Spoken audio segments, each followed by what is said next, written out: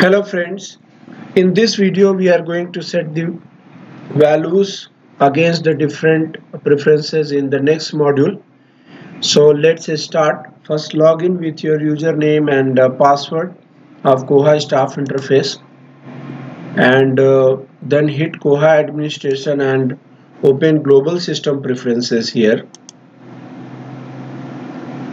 and then staff client so you can see in staff client there are many preferences and we need to set if we want these preferences to act accordingly.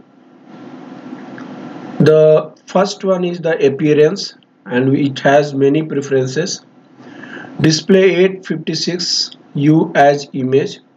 So if you want to display the uniform uh, uniform resource identifier in 856u field as an image. So you can choose here. Result page detail page only. Both result and detail page. So you can set.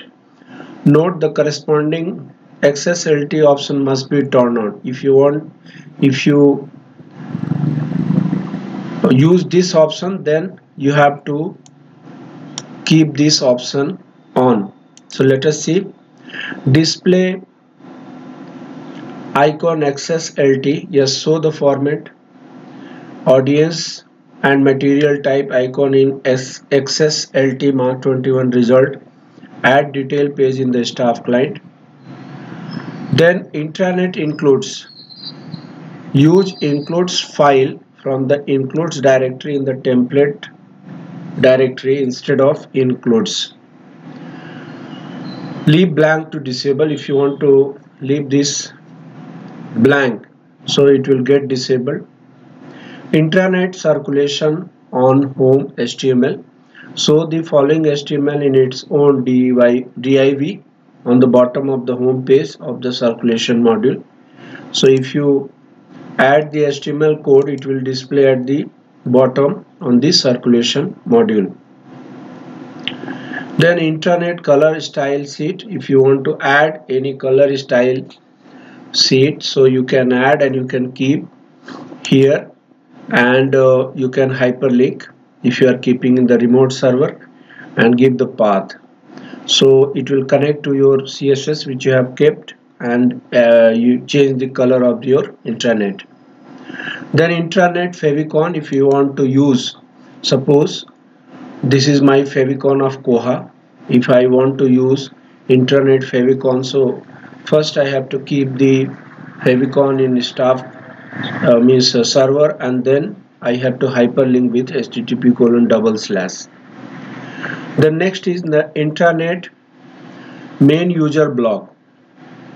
You can modify here by adding the html for the main page of the staff client if you want add anything. So you can add or you can leave it if you don't want. Then intranet navigation. If you want to add navigation on the left of the more menu at the top each page on the staff client. So you can add the HTML here and then you can add the internet navigation. Then internet report home HTML if you want the report module to be displayed on home so you can add HTML and hyperlink the report module. Then intranet slip printer in using JavaScript. So you can do this by adding the JavaScript for printing slips in the very intra means decorating way. Intranet style sheet if you want add any css file. So you can add by keeping the file at server and hyperlinking with http colon double slash. Then intranet user css if you include css on all pages it will uh, change the color or change the style for all staff client. The intranet user js uh, javascript if you add the code here it will change the look and feel of all pages in the staff client. Then staff client base URL this staff client is located at and uh, this should be complete URL starting with HTTP or HTTPS do not include a trailing slash in the URL this must be filled incorrect correctly for cache so if you want staff client base URL so you can give here. Generally we do not use or do not change staff language selection mode. So if you want you can choose whether it should display on top or footer or both top and footer. So it is up to you then staff login instruction. So the following HTML and staff client login page. So you can give the for login instruction if you want for all the staff. So you can add the instruction here by using HTML the best way for adding the code is that is uh, there is a website www.w3schools.com so this will help you to add the HTML code in the easy mode then template. There is only one template. Use the PROG theme on the staff interface. You don't have to change it. Then XSLT detail display. Display detail in staff client using this style sheet. It is already defined. If you don't want you can leave it empty. The same XSLT list display. So it is default. Then XSLT result display it is default. So I'm not going to change. If I leave it blank so no XSLT style sheet will be applicable for any. Now the other is the options in that audio alerts. If I enable this option so it will alert by giving some sound for events defined in the audio alerts section of administration. Hide patron name it will show or do not show the name of patron that have items checked out or on hold on detail page of the place hold screen. Suppose any user is reserving the book so it will not show the name of user who has taken. So generally you can show it is up to you or up to your policy if there is no objection so you can show it. There is no harm in that.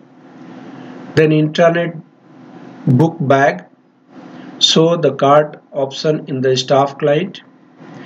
Internet catalog search pull down yes. Show it. A search field pull down for search the catalog boxes. Staff detail item selection. Enable. Item selection in record detail page use WYSIWYG in system preferences.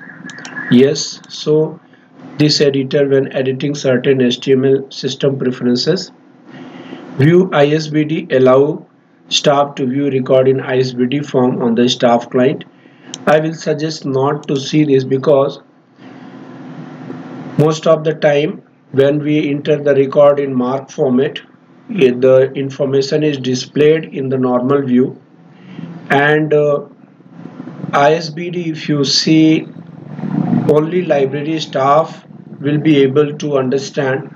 Generally this is not understood by the user so better to get the information use the normal view but it is your choice whether you want to see in ISBD mode or not. Option is given. View level labeled MARC. Allow staff to view record in labeled MARC form on the staff client. And then view MARC allow staff to view record in plain MARC form on the staff client. So these are all values we have set against the preferences given in the staff client. Hope this will help to set the values for staff client in Koha. So thank you for watching this video. Let us see more in the next video and uh, see how those values can be set for smooth functioning of Koha. So thank you once again.